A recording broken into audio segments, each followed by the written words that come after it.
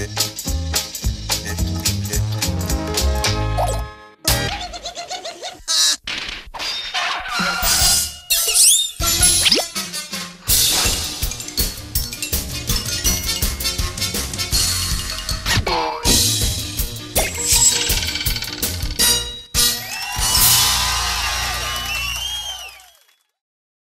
la la Gió mát trăng thanh Dễ chịu quá. Ủa lộn Buổi sáng làm gì có trăng ta? Gió mát Nắng ấm chan hòa mới đúng. Ui cha cha Cái giọng bạn nhỏ nào mà nghe dễ thương mà tích cực dữ vậy ta? Dạ em đây Rau càng cua. À thì ra là rau càng cua. Có chuyện gì mà em hút sáo phấn khích dữ vậy? Dạ em mới sáng chế ra phân bón từ vỏ trái cây Thức ăn thừa đó anh Quỳnh Đông. Wow tuyệt vời quá ta. Phân này dùng để bón cho vườn rau càng cua ở đằng sau ạ. Tốt. Nhưng mà làm sao em lại nghĩ ra được cách đó hay vậy? Dạ em nghiên cứu thấy loại phân bón này nhiều dưỡng chất Tốt cho cây lắm.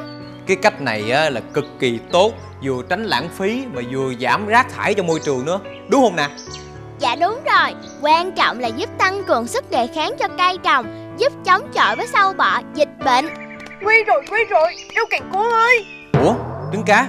Có chuyện gì vậy em? Dạ, lũ sâu đang tấn công khu vườn rau ạ. Hả? Sao có chuyện như vậy được? Không tin thì đi theo mình đi. Kia. Kìa Ôi, công trình của tôi cả tuần nay. Chóng mặt, khó thở, à, đau ngực. Tôi chết. Không ổn rồi không ổn rồi. Mau mau. Mang rau càng cua đến nhà đốc tôi khỏe liền thôi. Dạ rau càng cua có bị gì nghiêm trọng không đốc tôi khỏe rau càng cua bị tăng huyết áp đột ngột do bị sốc và làm việc quá sức.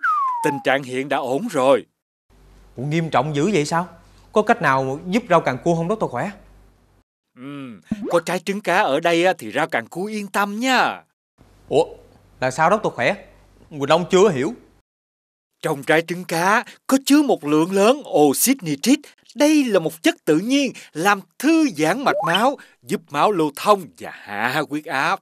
Cơ thể em còn chứa rất nhiều vitamin C Giúp cho cơ thể tăng sức đề kháng nữa Và phòng chống bệnh tim mạch luôn ạ Ngoài ra, hợp chất flavanol có trong trái trứng cá còn cải thiện sức khỏe của não bộ nữa đó. Theo Quỳnh Đông được biết á Thì trái trứng cá mình có thể dùng tươi nè Hoặc là làm mứt trái trứng cá nè Với những cái đặc tính tốt như vậy á Thì khi dùng trái trứng cá Mình có cần phải lưu ý điều gì không đốc tôi khỏe Mỗi ngày chỉ nên dùng khoảng 9 trái trứng cá thôi nha. Không dùng để mọi người dị ứng với em nha Nhớ chọn quả vừa chín tới, không bị hư dập, không bị dòi. Tốt nhất á, nên thăm khám và tham khảo ý kiến của bác sĩ trước khi tự áp dụng các bài thuốc từ trứng cá tại nhà. Để ngăn ngừa cao huyết áp, cần có lối sống lành mạnh và thăm khám bác sĩ để theo dõi các chỉ số thường xuyên nha.